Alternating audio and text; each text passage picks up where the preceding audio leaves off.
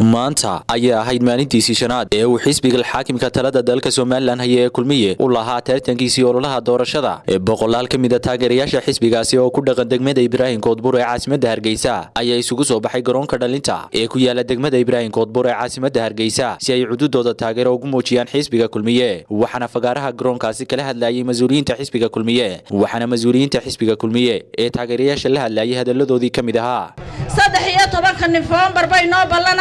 xaalado kalaa soo baxay ilaa shalay taasoo la leeyahay kaadharhkii baa laga ururinayaa dadka. Qofka kaadhkiisa laga ururiyaa muxuu xisbiga ugu hiilin doonaa?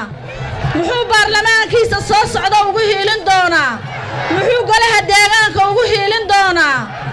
Waa khasaare. Inaynu iska ilaalinno oo aynaan dheg u dhigin dacaayadaha raqiiskaa ee layna soo dhex gelinayo ee laynagu nashuushadaynayo ee kaadharhkeenna wax lagaga sheegayo caqligeenna iyo maskaxdeenna lagu caayayo somalilan maanta waxay maraysaa meel aad u wanaagsan mustaqbalkeeduna aad buu ifayaa. Waxaynu doonaynaa mar walba intaa maskaxda lagu hayo doorashooyinka. Iyo waxaynu doonayno waxaa ka weyn oo ka qaalisan jiritaanka somalilan iyo ilaalintiisa mar walba maskaxda ku haya haylaabina nabadgelyada iyo wixii khalkala iman kara.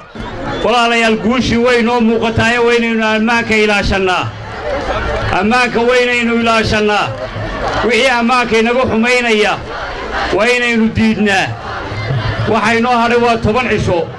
Tobankaa cisho ayaynu aad iyo aad xamaasaddeenna iyo maalmaha la soo bixi doono ee dambe waynu labalaabi doonnaa haddii eebba yidhaahdo.